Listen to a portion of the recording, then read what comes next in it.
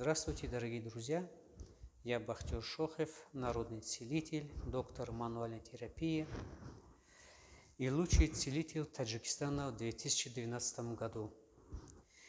Я ювелирно вправляю позвоночники и ювелирно освобождаю все нежные корешки и ювелирно корректирую позвоночники.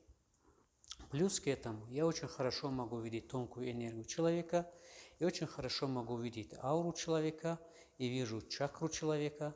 И по ауре человека э, могу определить, какая чакра у него разбита, и по ауру человека можно определить, какой позвонок у него нарушен. В прошлом своем сне мы говорили, что будем говорить о продолжении моих снов. Почему Бог очищает людей здесь, на этой земле? Почему не на том свете, а на этой земле? Я задавал вопросы, и во сне мне пришли ответы. Это сон, не надо принимать слишком близко, это во мне говорят во сне, это сон. И мне говорили, что Бог любит людей. Бог любит людей и любит таджикский народ. И Бог здесь очищает людей, потому что там Бог отправляет несколько людей в ад, а потом отправляет в рай. А кого Он отправляет в ад, Богу тяжело смотреть на них. Ему очень больно видеть людей, которые горят или мучаются в аду. Он не хочет этого. Ему очень больно, потому что Он любит вас, любит нас. Поэтому Он очищает здесь людей. И здесь дал, всем людям 12 уровней жизни. И за 12 уровней мы должны исправиться. Кто не исправится после 12 жизни, э, жизни, если он не исправится, Бог просто, он исчезнет, его душа превращается в пепел. В пепел превращается. А кто до 12 уровня будет делать добро, добро, он попадает в рай и в другие мира. Это все говорится во сне. А почему здесь очищает? Потому что Бог очищает всех людей здесь, потому что каждый человек сейчас говорит неправду, грешит, от их грехов он болеет. Вот ваши все болезни от ваших грехов. Грехов от прошлой жизни и грехов от этой жизни – и поэтому надо очищать здесь, чтобы Бог очищать здесь и направлять вас потом в другие мира. Там будет вам легче жить, вам будет удобно жить. Будете жить там, где вы хотите, будет, будет прочитаться ваша мечта. Но там попадет, кто будет делать добро. Кто будет делать добро.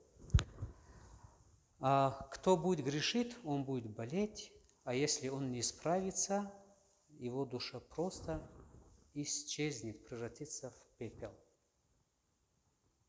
Богу лучше превратить грешника в пепел, чем смотреть, как он мучается в аду. Это просто мои сны. Во сне это мне говорят. Не надо сильно э, к себе принимать. Поэтому, когда мы ложим руки на спину человека, это уже начинает процесс очищения. Мы очищаем человека. Забираем все его боли себе, а потом раз в неделю я очищаю себя. Я беру все боли, все болезни, все грехи, а потом очищаю себя.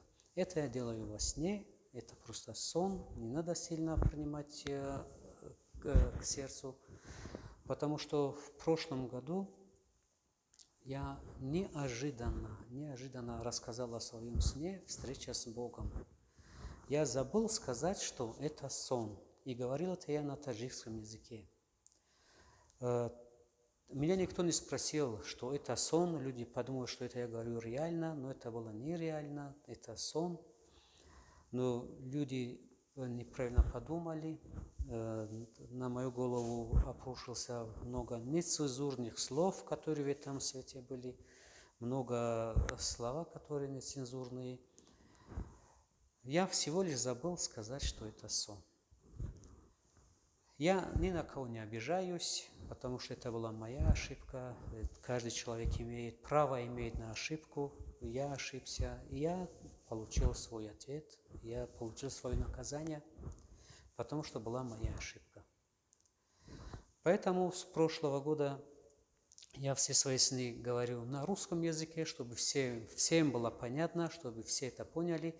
И именно говорю для просвещенных и понимающих людей, чтобы они тоже меня поняли и дали мне совет. Потому что сон дается не просто так, э, что-то за этим есть. Если просвещен, просвещенные люди, кто смотрит меня, дайте мне советы и дайте мне тоже понять. Почему я уже не говорю свои сны на таджикском языке? Многим это непонятно.